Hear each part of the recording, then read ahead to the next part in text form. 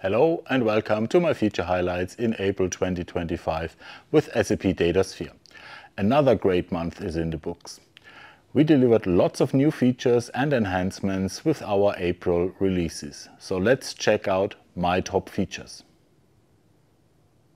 The first one, in the analytic model. We now introduced stacking of analytic models with Wave 8 in April. This means you can now create a new analytic model using another analytic model as a fact source and reuse the model definitions, measures and exposed attributes as well as dimensions and variables.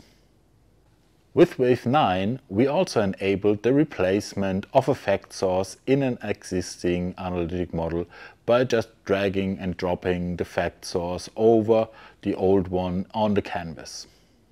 With that same wave, we also introduced a measure dependency graph, meaning that you can now display an impact and lineage analysis for measures in the analytic model. So that's very cool.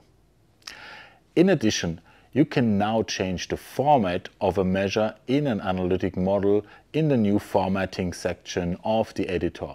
So defining the decimal places and scale of the measure already in the model.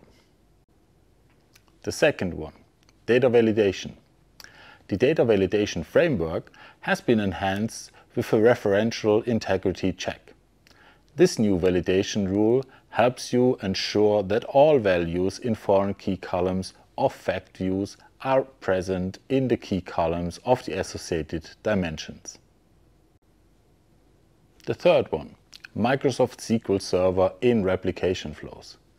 You can now use connection type Microsoft SQL Server as a source to replicate data from these SQL Server databases to all targets in replication flows. The fourth one, deep retry of task chains. For task chains that include nested task chains, the behavior for retrying failed tasks with a nested task chain has been improved.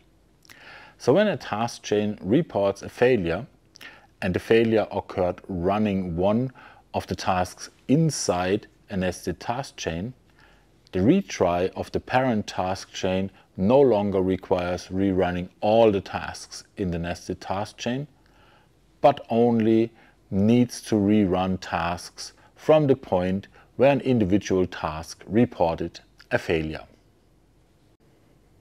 So, all in all, very cool features helping you to use SAP DataSphere way more efficiently.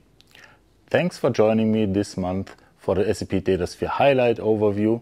And if you like it, give me a thumbs up down here and don't forget to subscribe to our YouTube channel to get the latest updates. Take care and see you soon.